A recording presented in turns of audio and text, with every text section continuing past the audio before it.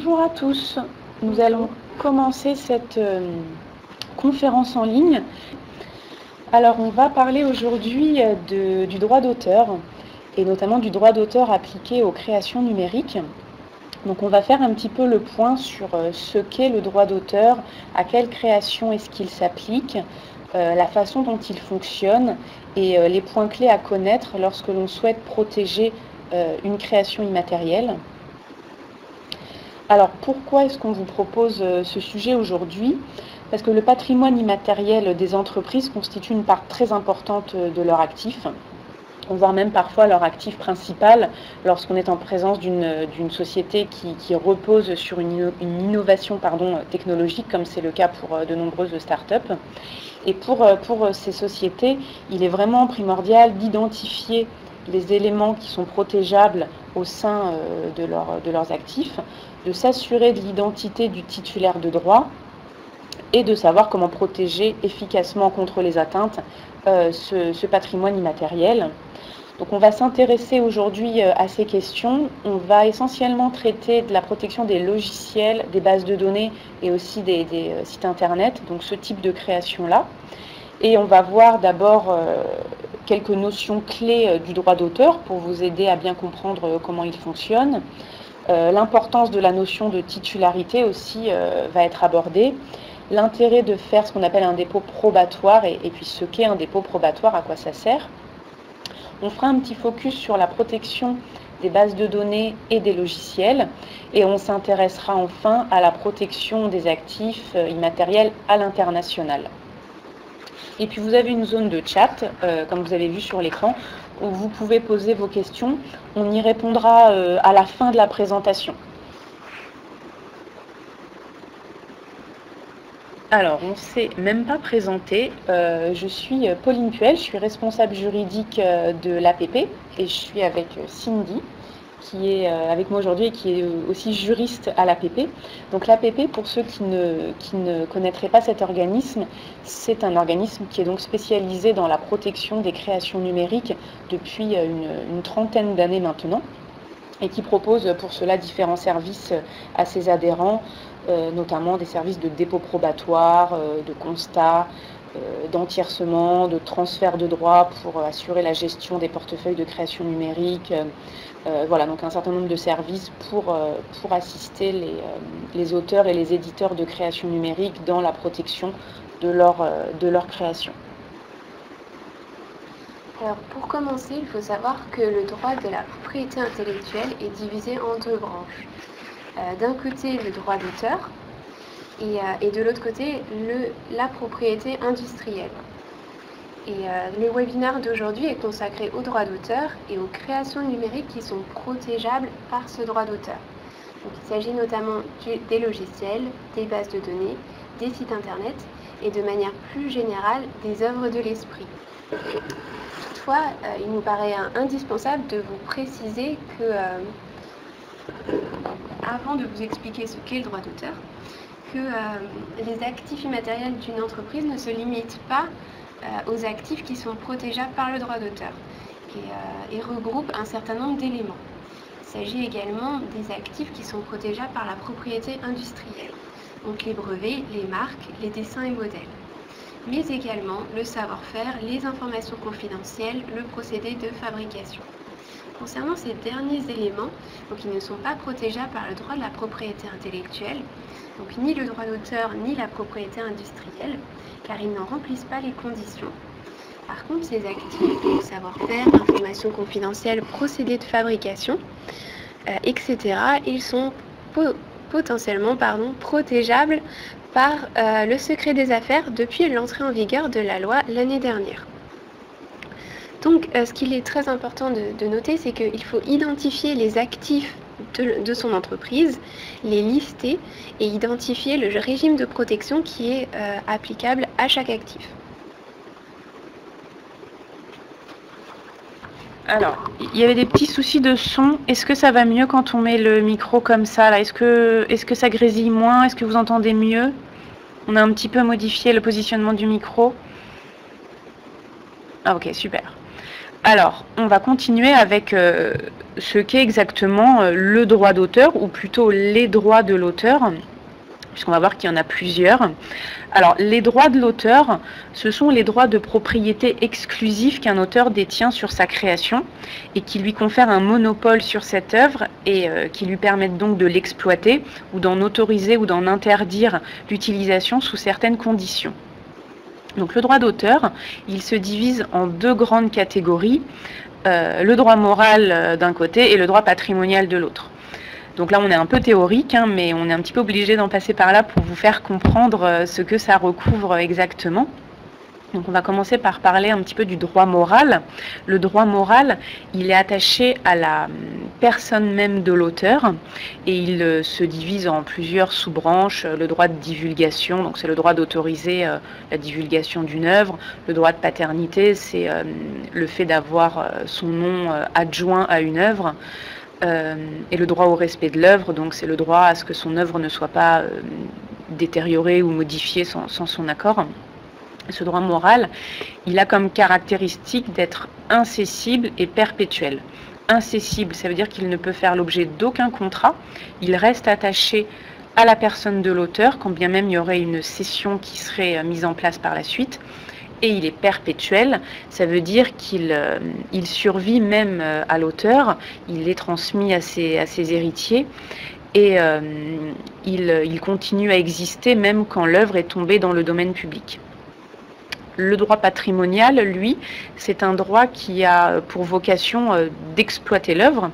Donc à l'inverse du droit moral, le droit patrimonial, il est cessible et il a une durée limitée. Cessible, ça veut dire qu'on peut conclure des contrats des contrats de cession ou des contrats de licence qui portent sur ce droit patrimonial et il a une durée limitée qui est en France de 70 ans après la mort de l'auteur ou 70 ans après la divulgation de l'œuvre si, elle a été euh, créé par une société. Et ce droit patrimonial, il a deux composantes, le droit de représentation, le droit de reproduction, qui sont les droits de, euh, reproduire l'œuvre, de la communiquer au public, et euh, voilà, donc qui permettent donc de l'exploiter. Et ce qu'il est important de préciser aussi, c'est que tout ce qui n'est pas autorisé par l'auteur euh, dans un contrat est expressément interdit et vous êtes donc contrefacteur si vous ne respectez pas euh, les, termes d'un contrat conclu avec euh, l'auteur de la création. Alors juste un point aussi en ce qui concerne les créations euh, numériques comme par exemple les logiciels. Le droit moral portant sur les logiciels a été réduit parce qu'il était difficile à appliquer euh, dans le domaine des technologies, le droit moral qu'on vient de décrire, c'est plutôt le droit moral qui s'applique aux œuvres euh, dites classiques. Et pour le droit, pour les logiciels, pardon, il est, il est réduit. Donc, il est réduit au droit de divulgation et au droit à la paternité. Et encore, le droit à la paternité, c'est aussi assez théorique parce qu'on a souvent plusieurs auteurs pour un logiciel et il est très rare qu'on fasse figurer le nom de ces différents auteurs sur, euh, sur un logiciel. Donc en gros il se réduit on va dire plus ou moins au droit de divulgation euh, et, c'est surtout le droit patrimonial qui nous intéresse lorsqu'on parle d'une création telle qu'un logiciel. Alors donc on a vu euh, les droits qui composent les droits de l'auteur et maintenant on va voir euh, les grands principes du droit d'auteur.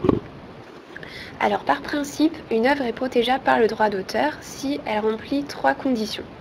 Tout d'abord, ce sont les œuvres de l'esprit qui sont protégeables par le droit d'auteur. Et euh, d'ailleurs, sur ce point, le Code de la propriété intellectuelle euh, nous fournit une liste assez complète, mais qui n'est pas exhaustive. Deuxième condition, euh, la création doit être originale. Alors il n'y a pas de définition légale à proprement parler de l'originalité. Toutefois, selon la jurisprudence, il s'agira, enfin, une œuvre qui sera originale portera l'empreinte de la personnalité de l'auteur euh, la marque de l'apport intellectuel de l'auteur.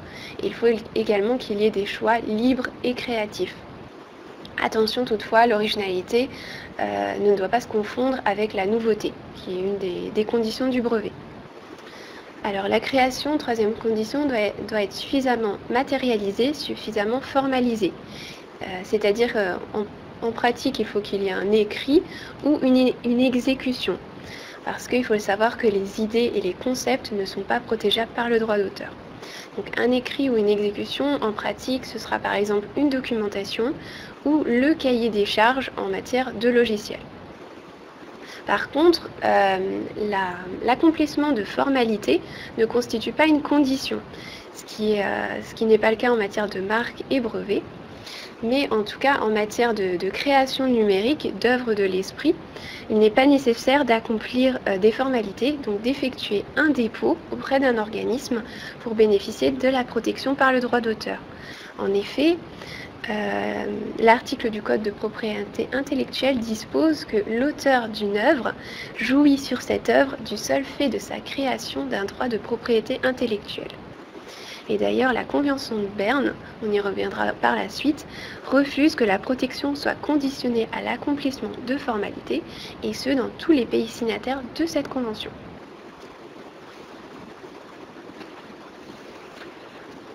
On va aborder maintenant le point de la titularité des droits d'auteur, qui est un point extrêmement important euh, lorsqu'on cherche à, à, protéger ses créations. Alors, pourquoi est-ce que la titularité, euh, c'est si important? Quels sont les enjeux en fait qui sont liés à cette titularité? Donc déjà, il faut savoir que c'est uniquement le titulaire des droits d'auteur qui est autorisé à exploiter une œuvre. Euh, si on n'est pas titulaire des droits et qu'on exploite une œuvre, donc sans autorisation de ce titulaire, on est contrefacteur. On peut être considéré comme contrefacteur. Euh, seul le titulaire est aussi fondé à octroyer des licences ou à conclure des contrats de cession et seul le titulaire peut agir en contrefaçon en cas d'atteinte à ses droits et donc peut obtenir réparation du préjudice subi. Donc c'est vraiment important de savoir qui est le titulaire des droits d'auteur. Et, euh, le problème, c'est que les entreprises euh, exploitent souvent des créations sur lesquelles elles ne sont pas titulaires des droits et, parfois sans le savoir. En fait, on pense souvent à tort euh, être automatiquement titulaire des droits d'auteur sur une œuvre quand elle est créée par euh, l'un de nos salariés ou quand elle est créée par un prestataire à qui on a passé commande. Et euh, pourtant, la protection accordée par le droit d'auteur est, est, attribuée à l'auteur, à l'auteur personne physique, et non pas au commanditaire ou à celui qui finance la création. Donc la question de la détermination du titulaire de droit sur une création immatérielle, elle est vraiment centrale et c'est un préalable à toute stratégie de protection. Et d'ailleurs, dans les procédures judiciaires en contrefaçon, c'est souvent l'un des points centraux, euh, le fait de déterminer voilà, qui est le titulaire de droit, parce que si on n'est pas le titulaire, et eh ben, la procédure s'arrête et on ne peut pas obtenir euh, de dédommagement, même si on est celui qui exploite la création. Et pareil, dans les audits, par exemple, qui, sont faits avant, euh, avant des levées de fonds ou des acquisitions, par exemple, euh, la question de la titularité, elle est là encore centrale, puisqu'une société euh, technologique, par exemple, qui reposerait sur une innovation ou sur un logiciel particulier, mais qui ne serait pas détentrice des droits parce qu'elle a oublié de se les faire céder par un, par un prestataire ou, autre, euh, ce ne serait qu'une coquille vide, en fait, et elle n'aurait pas, pas beaucoup de valeur. Donc il est vraiment important de savoir qui est titulaire de ces droits. alors la règle, elle est euh, que normalement c'est l'auteur, personne physique, qui est titulaire des droits d'auteur, sauf s'il a cédé ses droits patrimoniaux euh, par un contrat de cession, par exemple, à une société. Donc là, c'est une, première euh, exception. Également, on a le cas de l'œuvre collective, donc qui est une, exception assez exceptionnelle justement, enfin, qu'on rencontre assez rarement. L'œuvre collective, c'est celle qui est euh, créée à l'initiative d'une personne physique ou d'une personne morale et dans laquelle la contribution des différents co-auteurs se font dans un ensemble. Et dans ce cas-là, ce ne sont pas les, différents co-auteurs qui sont titulaires de droit, c'est la personne qui est à l'origine du projet. Et on a une autre exception euh, notable euh, dont on va parler aujourd'hui, c'est celle des logiciels. Le logiciel qui est créé dans le cadre d'un contrat de travail, donc par un salarié, euh, et dans l'exercice de ses fonctions. Dans ce cas-là, ce n'est pas l'auteur du logiciel qui va être titulaire des droits d'auteur, mais c'est son employeur. Pour que cette exception s'applique, il faut qu'on soit en présence d'un logiciel et uniquement d'un logiciel. Donc ça ne fonctionne pas pour les bases de données, ça ne fonctionne pas pour les sites internet par exemple il faut que ce soit un salarié. Donc ça ne marche pas non plus pour les stagiaires, ça ne marche pas pour les prestataires euh, extérieurs, ça ne marche pas pour les euh, mandataires sociaux, par exemple, qui n'auraient pas un rôle salarié dans l'entreprise. Donc si ce sont ces différentes personnes-là qui ont créé un logiciel, elles ne rentrent pas dans l'exception. Il faut que le logiciel ait été créé par le salarié dans le cadre de, sa, de ses fonctions ou sur instruction de son employeur. Donc si vous êtes dans ce cas-là, si vous êtes un employeur, que l'un de vos salariés, dans le cadre de sa mission, a créé un logiciel, vous êtes automatiquement, vous, employeur, titulaire des droits d'auteur. Mais si c'est un stagiaire qui a créé un logiciel ou si c'est un salarié qui a créé un site internet, par exemple, on n'est pas dans le cadre de l'exception. Et là, vous devez impérativement mettre en place des contrats de cession pour que ce soit l'entreprise qui soit titulaire des droits et non pas le salarié. Euh, pareil avec un prestataire, hein. si vous faites appel à un prestataire extérieur pour euh, créer votre site web, pour développer un logiciel, pour créer votre logo par exemple, euh, le seul fait de, passer un contrat de commande ou, de payer la prestation ne vous rend pas automatiquement titulaire des droits d'auteur. Là encore, vous devez conclure un contrat de cession qui doit d'ailleurs respecter les conditions fixées par le Code de la propriété intellectuelle pour être valable. Et euh, c'est uniquement dans ce cas-là que vous serez le titulaire des droits et que vous serez fondé donc à exploiter paisiblement la création, à agir en justice si on y porte atteinte. Euh, on note également qu'il y a un cas particulier qui est celui de la cotitularité. Là, c'est lorsque plusieurs euh, personnes physiques euh, travaillent ensemble sur un même projet et donc sont co-auteurs d'un logiciel, par exemple. Euh, là, elles sont donc copropriétaires de la création et elles exercent ensemble leurs droits d'auteur sur, sur une création. Et juste aussi pour finir sur le point de la titularité, l'auteur personne physique a souvent la qualité de titulaire des droits, mais pas toujours. Ce sont deux qualités qui ne se confondent pas forcément, puisqu'on a vu que dans le cadre d'un logiciel créé par un salarié, on a un auteur qui n'est pas titulaire des droits. Euh, et le titulaire des droits, s'il s'est fait céder les droits sur l'œuvre, sera uniquement titulaire des droits patrimoniaux. On a vu au début que seuls ces droits-là peuvent être cédés. Le droit moral ne peut jamais être cédé. Donc un cessionnaire ne peut jamais être titulaire des droits patrimoniaux sur une création, mais uniquement des droits, euh, moraux, pardon, uniquement des droits patrimoniaux. Alors, comme je l'ai évoqué euh, tout à l'heure, euh, une œuvre est protégeable par le droit d'auteur dès sa création. Donc, ça veut dire qu'aucune formalité préalable n'est nécessaire. Donc ce principe est vrai pour le droit d'auteur, mais il ne l'est pas pour la propriété industrielle, c'est-à-dire les marques, les brevets. Dans le cas euh, des marques et des brevets, justement, euh, un dépôt auprès de l'INPI en France sera nécessaire pour que l'auteur ou la personne qui a déposé la marque bénéficie d'une protection. C'est ce qu'on appelle un dépôt constitutif de droit, c'est-à-dire que le dépôt est nécessaire pour obtenir un droit. Alors, ce qui n'est pas le cas donc pour le droit d'auteur et pour les œuvres qui sont protégeables par le droit d'auteur.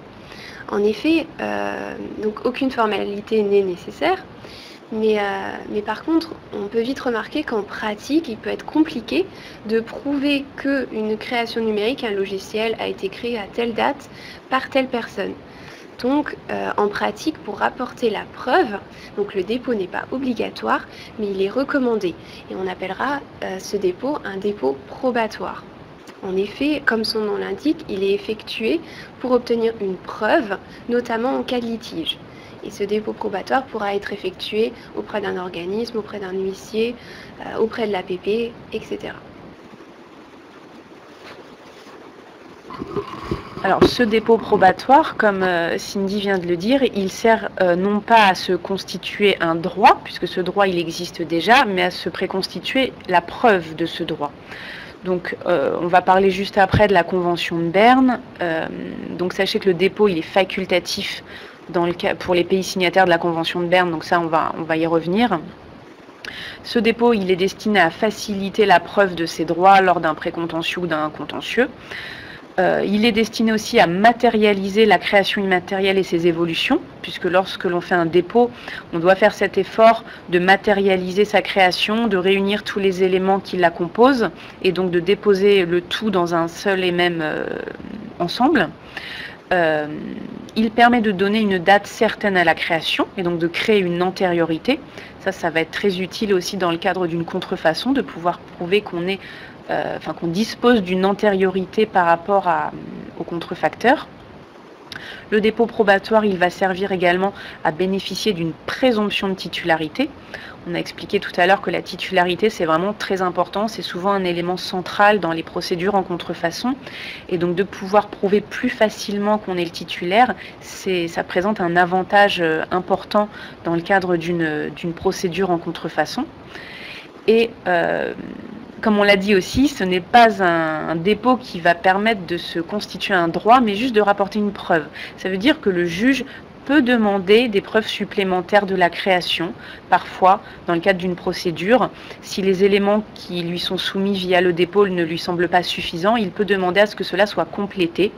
Mais le dépôt euh, apporte déjà des éléments de preuve, euh, notamment la date, la titularité, qui sont euh, difficilement contestables et qui vont apporter un avantage certain à celui qui va les produire euh, en justice. Alors on va revenir un peu plus en détail sur la protection de deux créations numériques qui présentent en général une valeur assez importante pour les entreprises. Il s'agit des logiciels et des bases de données. Il faut savoir tout d'abord que le logiciel est considéré comme une œuvre de l'esprit et est listé, listé comme tel dans le Code de la propriété intellectuelle. Donc il faut savoir qu'un logiciel est protégeable par le droit d'auteur. Il peut également être breveté dans certaines conditions. Mais euh, en effet, il est possible de breveter un logiciel qui serait intégré dans une invention plus vaste. Alors sur la brevetabilité des logiciels, si ça vous intéresse, je vous laisse voir euh, le replay d'un webinar qui avait eu lieu euh, sur le sujet. Alors quant aux différents éléments qui composent le logiciel pris séparément, ils bénéficient chacun d'un régime de protection qui leur est propre. Certains sont protégeables par le droit classique, le, droit d'auteur classique. Il s'agira de l'interface graphique, du titre du logiciel, du cahier des charges et de la documentation. D'autres éléments sont protégeables par le droit spécifique des logiciels. Il s'agira du code source, du code objet et euh, du matériel préparatoire. D'autres éléments, curieusement, ne sont pas protégeables par le droit de la propriété intellectuelle, mais depuis euh, l'entrée en vigueur de la loi sur le secret des affaires, peuvent bénéficier de cette protection. Il s'agira de l'algorithme, du langage de programmation et des fonctionnalités. Alors si vous souhaitez effectuer un dépôt probatoire, donc un dépôt qui est effectué à titre de preuve, tous ces éléments euh, devront être déposés afin euh, d'apporter plus facilement la preuve en cas de précontentieux, précontentieux contentieux. Alors deuxièmement, la base de données. La base de données bénéficie d'un régime de protection assez particulier. Il s'agit d'une double protection. Tout d'abord, l'architecture de la base, c'est la façon dont les données sont organisées, la façon dont la base de données a été construite, eh bien l'architecture de la base est protégeable par le droit d'auteur. Donc tout ce qu'on vient de dire sur le sujet est applicable à l'architecture de la base. Le contenu de la base, quant à lui, c'est-à-dire les données euh, prises dans leur ensemble, sont protégeables par un droit un petit peu spécial qui est le droit sui generis. Donc les données prises dans leur ensemble sont protégeables par ce droit à condition que leur obtention, leur vérification et ou leur présentation ait fait l'objet d'investissements substantiels, d'investissements financiers, matériels, humains. Donc tous ces éléments pourront être déposés dans le cadre d'un dépôt probatoire et pour prouver que des investissements ont été réalisés, il pourra également être judicieux de déposer les factures, les bulletins de paye, euh, les contrats de travail qui justifient que des investissements ont été réalisés. Si vous souhaitez davantage de détails sur, euh, sur la protection des, logiciels et la protection des bases de données, n'hésitez pas à regarder nos replays. Euh, on a effectué des, des webinaires sur le sujet qui seront davantage complets.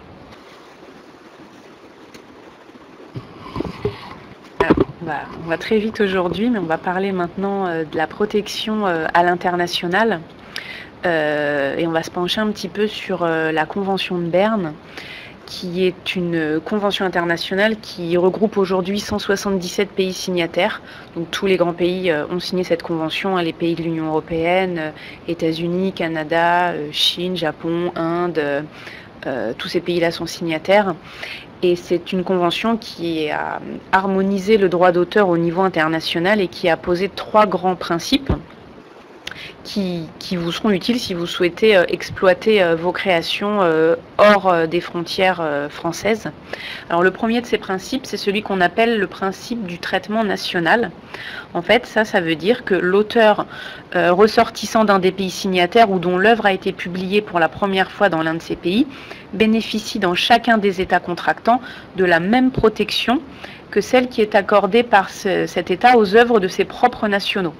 Donc ça veut dire que si vous êtes un auteur euh, français, que vous avez créé quelque chose en France, euh, et que vous souhaitez euh, bénéficier d'une protection dans un autre pays signataire, disons par exemple le Canada, que vous vous rendez compte qu'il y a une contrefaçon de votre produit au Canada, vous bénéficierez automatiquement au Canada de la protection que le droit canadien accorde aux œuvres des auteurs canadiens vous ne bénéficierez pas au Canada de la loi française, mais vous bénéficierez automatiquement là-bas du droit canadien. Euh, le deuxième principe, c'est que la protection est automatique. Donc vous n'avez pas de formalité à accomplir pour bénéficier de cette protection dans les différents pays signataires. Le seul fait que votre œuvre soit créée euh, suffit. Euh, vous n'avez pas donc à effectuer des formalités de dépôt auprès d'organismes locaux pour bénéficier de, la Convention de Berne et pour pouvoir invoquer la Convention de Berne dans une procédure judiciaire dans l'un de ces pays. Et le dernier grand principe posé par la Convention de Berne, c'est celui de l'indépendance de la protection. Euh, ce, principe euh, nous indique que la protection est indépendante de l'existence de la protection dans le pays d'origine de l'œuvre. Donc c'est exclusivement la législation du pays où la protection est réclamée qui s'applique. Donc c'est ce que je disais tout à l'heure, si on reprend notre exemple du Canada, si vous avez un litige dans ce pays-là, ça sera uniquement le droit canadien qui s'appliquera si vous engagez une procédure judiciaire là-bas et non pas euh, le droit français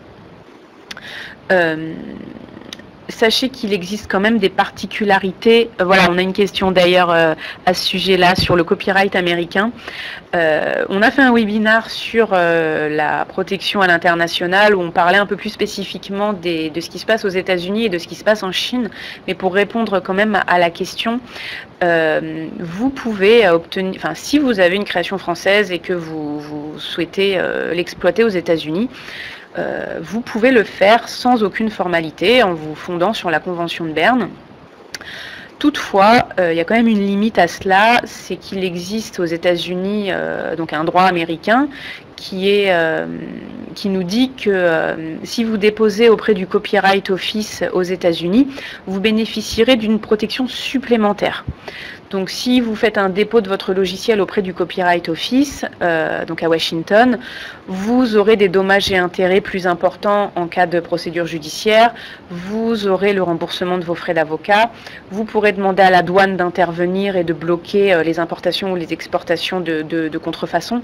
Donc vous bénéficierez de plus de droits en fait.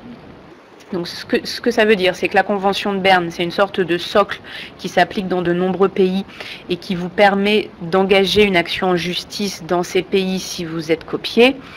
Euh, après, si vous êtes euh, présent sur le marché américain, si vous, si vous exploitez vraiment sur ce territoire-là votre création, là, on vous conseille quand même fortement de faire un dépôt auprès du Copyright Office parce que là, vous aurez une protection plus importante, vous aurez plus de dommages et intérêts en cas d'atteinte et donc ça sera quand même plus intéressant pour vous. Donc finalement, pour, euh, pour résumer un petit peu les, les bonnes pratiques, euh, pour protéger euh, vos créations numériques. il faudra dans un premier temps les identifier, identifier les actifs immatériels, donc en ce compris euh, les créations numériques, mais également les autres actifs, donc le savoir-faire, les informations confidentielles, le procédé de fabrication, etc. Et pour ce faire, vous pouvez effectuer un audit. Il faudra également identifier le titulaire de droit sur ces actifs euh, et, donc, si nécessaire, conclure des contrats de cession si euh, la création appartient à quelqu'un d'autre. Il faudra également mettre en place une politique de protection de ces actifs, donc notamment en déposant ces créations numériques dès leur création et en matérialisant toute évolution substantielle par des mises à jour. En effet, les créations numériques ont vocation à évoluer très rapidement, donc euh, déposer des, des mises à jour régulièrement est également nécessaire. Il faudra également anticiper le développement à l'international et conclure des accords de confidentialité. Et, euh, notamment, ça, ça, revient sur ce point, il faudra penser au contrat. Donc, accord de confidentialité, pardon, contrat de cession en matière de titularité, licence, etc. Et en cas d'atteinte, vérifier vos droits et recueillir des preuves de l'atteinte. Donc on, va maintenant prendre un petit moment pour répondre euh, à vos questions sur, euh, le chat. Euh, alors on avait une question de Pauline qui nous demandait ce qu'est le matériel de conception préparatoire. Oui, on en a parlé au moment où on évoquait le logiciel et on expliquait que ce matériel de conception préparatoire, il est protégeable par le droit d'auteur. Donc là, en fait, c'est essentiellement tout ce qui va être cahier des charges, par exemple, préalable à, au développement d'un logiciel. Euh, c'est essentiellement ce type de, de document auquel on fait référence en parlant de matériel de conception préparatoire. Alors ensuite, euh, une question de Pauline. Quelle est la valeur juridique d'un dépôt APP à l'international, par exemple devant un juge américain ou canadien? Alors comme le disait Pauline, euh, dans le cas d'un dépôt qui serait présenté devant un juge américain, par exemple, euh, il sera plutôt conseillé d'effectuer un dépôt auprès du copyright américain, parce qu'un dépôt APP aura plutôt une portée au niveau européen en tout cas, on n'a pas de, retour sur, sur, des contentieux éventuels. Mais en tout cas, l'APP est assez bien reconnue en France et en Europe. Par contre, quand on sort un petit peu et qu'on va aux États-Unis, en Chine, il sera peut-être euh, recommandé de se rapprocher plutôt des organismes dans ces pays et, euh, notamment du copyright américain. Alors, il y a ensuite une question de Sophie euh, donc je vais vous la lire, une question sur les droits patrimoniaux. Si on nous demande un droit de réimpression d'une œuvre écrite, qu'est-ce que cela sous-entend? Est-ce une cession de droit patrimonial ou il n'y a aucune cession de droits patrimoniaux car le droit de réimpression n'existe pas? Eh bien, pour tout vous dire, je, n'ai jamais, jamais, entendu parler du droit de réimpression jusqu'à maintenant. Euh, je ne sais pas ce que c'est. Est-ce que Cindy, toi, tu, as entendu parler de ça? Euh, Non, non plus. Euh, c'est pas quelque chose euh, qu'on rencontre fréquemment. Donc là, en fait, on va pas vraiment pouvoir répondre à votre question. Euh, il faudrait un petit peu nous en dire plus sur le contexte, peut-être pour qu'on comprenne. alors, question suivante, c'était Juliette. Donc la société, tu veux peut-être Oui, la société pour laquelle je travaille est en train de créer un site internet communautaire. Mes questions sont les suivantes, pardon. La société est titulaire des droits d'auteur sur le site. Alors ça va dépendre de, euh, si des contrats de cession ont été conclus. Euh, sinon, c'est bien l'auteur qui est titulaire des droits sur euh, les éléments qui constituent ce site internet. S'agissant des contenus, photos notamment, postés par les utilisateurs du site, appartiennent-ils aux utilisateurs ou à la société? Alors si ce sont des contenus qui sont postés par les utilisateurs, ce sont bien les utilisateurs en tout cas la personne qui a pris la photo par exemple, qui est bien l'auteur de cette œuvre. Donc en théorie, normalement, c'est l'utilisateur, parce qu'en théorie, normalement, il a, pris les dispositions pour avoir le droit de publier une telle œuvre. Existe-t-il un mécanisme de cession automatique au profit de la société? Alors, cession automatique, oui, en matière de logiciel. Pour euh, le reste des contenus, non. L'auteur d'une création numérique, d'une œuvre, reste titulaire des droits, même s'il s'agit d'un salarié, euh, sauf s'il s'agit d'un logiciel.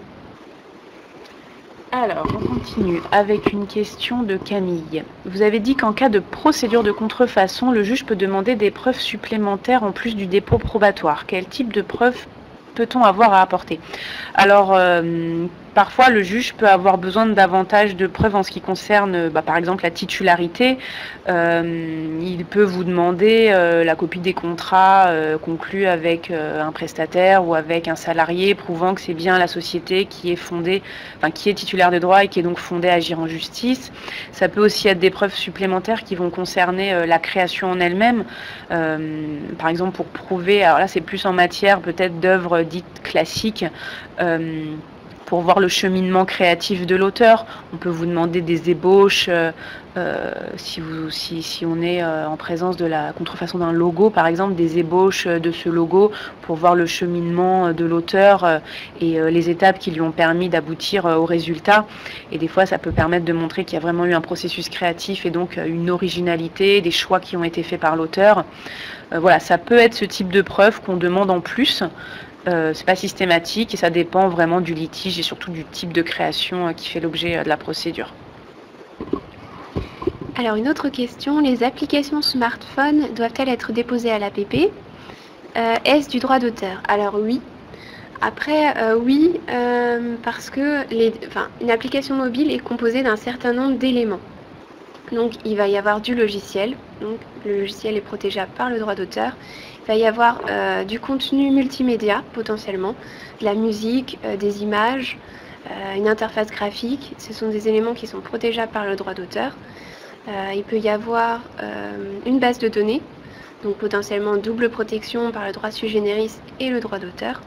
Donc euh, je ne peux que vous conseiller de, de déposer tous ces éléments auprès de l'APP. Ensuite, quid des créations type réalisation audiovisuelle originale postées sur les réseaux sociaux type YouTube? Euh, Est-ce que ces plateformes s'approprient-elles et détiennent-elles les droits comme revendiqués dans les conditions d'utilisation de ces plateformes? Alors, je ne sais pas ce que disent les conditions d'utilisation de ces plateformes, mais ça me paraîtrait quand même étonnant qu'elles euh, contiennent des, sessions de droits. Normalement, pour une création originale, euh, elle appartient à son auteur. Euh, quand bien même elle serait postée sur une plateforme du type YouTube. Et normalement, pour qu'il y ait une session, il faut vraiment qu'il y ait un contrat écrit qui soit conclu entre les deux parties. Et donc ma réponse est un peu partielle parce que je ne sais pas ce que contiennent ces conditions, mais au vu du droit français, ça me semblerait quand même étonnant qu'il y ait une session, euh, qu'on puisse prévoir une session automatique euh, euh, de ce type d'œuvre. Alors, l'architecture d'une base de données peut-elle être une œuvre, collective et dans ce cas être d'office la propriété de la société employeur? Quelles conditions? Alors Pauline, arrête-moi si je me trompe, mais oui, je pense que l'architecture d'une base, donc la manière dont elle est construite et dont les données sont organisées, peut tout à fait être une œuvre collective. Et donc, euh, effectivement, il y aura euh, euh, session automatique, enfin l'employeur en tout cas sera titulaire des droits. Quelles conditions? Alors les conditions de l'œuvre collective, il me semble qu'il y a eu instruction de l'employeur. Et euh, oui. Euh, oui, il faut rentrer dans la définition de l'œuvre collective, après, qui est assez stricte hein, quand même, qui est assez strictement euh, appréciée par les, juges, justement pour pas trop déroger à la règle de base qui est que l'auteur est titulaire des droits sur sa création. Mais si on n'arrive pas à dissocier les apports des différents co-auteurs, on peut être dans le cadre d'une œuvre collective et l'architecture d'une base pourrait a priori rentrer dans cette euh, qualification-là, euh, euh, en effet. Oui, il faut que l'employeur soit à l'initiative et, donner les instructions pour effectuer, pour effectuer cette architecture, effectivement. Juliette ensuite qui nous demande, alors c'est la suite d'une autre question, si la société veut réutiliser les photos d'un utilisateur, pour les insérer dans une newsletter, il est nécessaire de conclure avec l'utilisateur un contrat de cession ou lui faire signer une simple autorisation d'usage. Alors si c'est juste utiliser euh, la création d'un tiers, on n'est pas forcément obligé de faire un contrat de cession. Hein. le contrat de cession, c'est euh, vraiment euh, c'est une vente en fait. Hein. Enfin, on se, on se départit de sa création. Donc un simple, une simple autorisation me semblerait suffire dans un cas comme celui-là me tourne vers toi, Cindy, tu es d'accord avec ma réponse? Ensuite, une question de Christophe. Quid d'un dépôt chez un huissier? C'est-à-dire, en fait, euh, un dépôt auprès d'un huissier euh, sera quasiment identique d'un dépôt auprès de l'APP en termes de, valeur probante. Euh, c'est également le cas de, l'enveloppe dans l'enveloppe solo. Mais l'apport du dépôt APP par rapport à un dépôt auprès d'un huissier, c'est que l'APP permet vraiment d'effectuer des mises à jour et de créer une, réelle filiation euh, et, donc de matérialiser des évolutions. Alors qu'un dépôt euh, auprès d'un huissier, voilà, ce sera un dépôt, ce sera du one shot finalement, et donc ce seront des dépôts qui seront distincts et, et donc ils ne permettront pas de matérialiser cette évolution de la création. Et euh, Audrey qui nous demande comment protéger un algorithme. Alors un algorithme normalement n'est pas protégeable euh, ni par le droit d'auteur ni par euh, le droit de la propriété industrielle.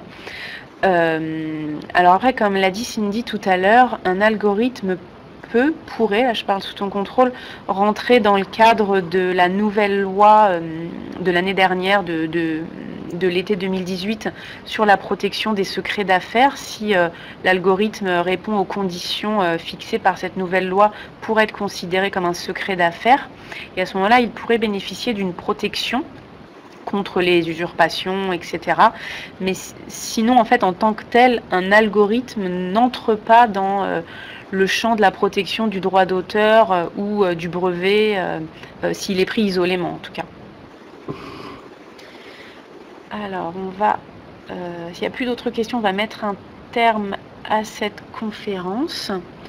Euh, alors, sachez qu'on va proposer euh, cet été, donc à compter du 27 juin, une série de plusieurs petits webinars euh, sur un format court où on va vous présenter euh, comment protéger euh, efficacement vos créations numériques avec l'APP. Donc là, on essaiera d'être un peu plus pratique sur, sur, sur ce qu'il faut déposer, ce qu'on doit mettre dans son dépôt, comment faire vivre son dépôt, comment réaliser son dépôt.